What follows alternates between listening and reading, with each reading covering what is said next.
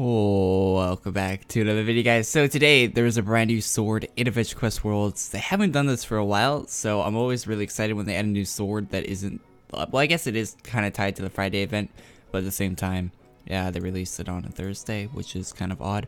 But I'll show you how to get it in this video. Let's get into it.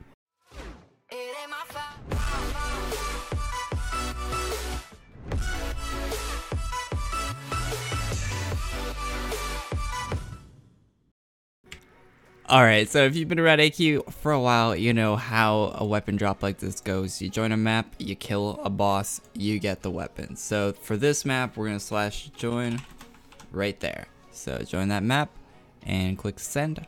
I should, if I remember, someone reminds me in the comments, I'll put the slash join in the comment or in the description for you guys to copy and paste that into your game. So 51k health on the dark. Um, I don't, I, I really don't know how to pronounce that name, so I'm not even gonna pronounce it. But this guy, uh, you farm him. I'll be back with the drop. Oh, and here's another reminder in case you did not see the video yesterday, which you should go watch that uh, video uploaded yesterday. But uh, Lightcaster class is going rare, and I'll probably put this in another video today too, just so everyone knows. I don't want anyone to miss out on Lightcaster.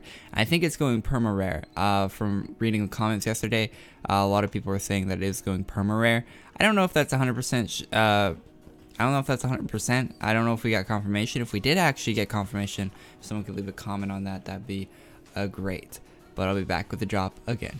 Uh, make sure you get Lightcaster class because it's really good and it might be rare forever. Alright, we got some drops. Shout out to Dream, by the way, for giving me the info on this weapon. Um, so the Dread Knight and a helmet. So we're looking for a blade. There it is. There's the blade we're looking for. The Dread Knight Cleaver. Alright, so free AC item looks pretty awesome actually. Let's go to a map with a closer view of the weapon. Alright, here it is. So it's nice orange and black with the... Is this a weapon that Elena tweeted out? That's the question. Let's... I don't think it is though. Uh, if you don't know, Elena tweeted out a mystery weapon or something like that. But I guess it's actually going to come out on Friday. But this weapon was released today for some reason. Uh, yeah, the outline of it is definitely different. and had like a little like an indent on the end of it. So this is not the weapon, the mystery weapon. But um, it is cool. So if you want to get it, it's an AC item. You can store it in your bank for free. Uh, go and grab it from that map. We also got a helmet from that guy. What's the helmet look like? Just out of curiosity. Um, the unholy helmet. Okay, it's a member item.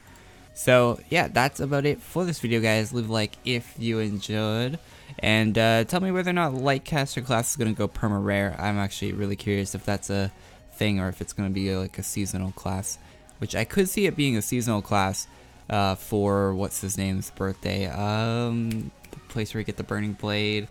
I can't think of the artist's name at the moment. He's a really good artist. Um, yeah, comment down below his name too, and I'll see you guys all in the next one. Peace.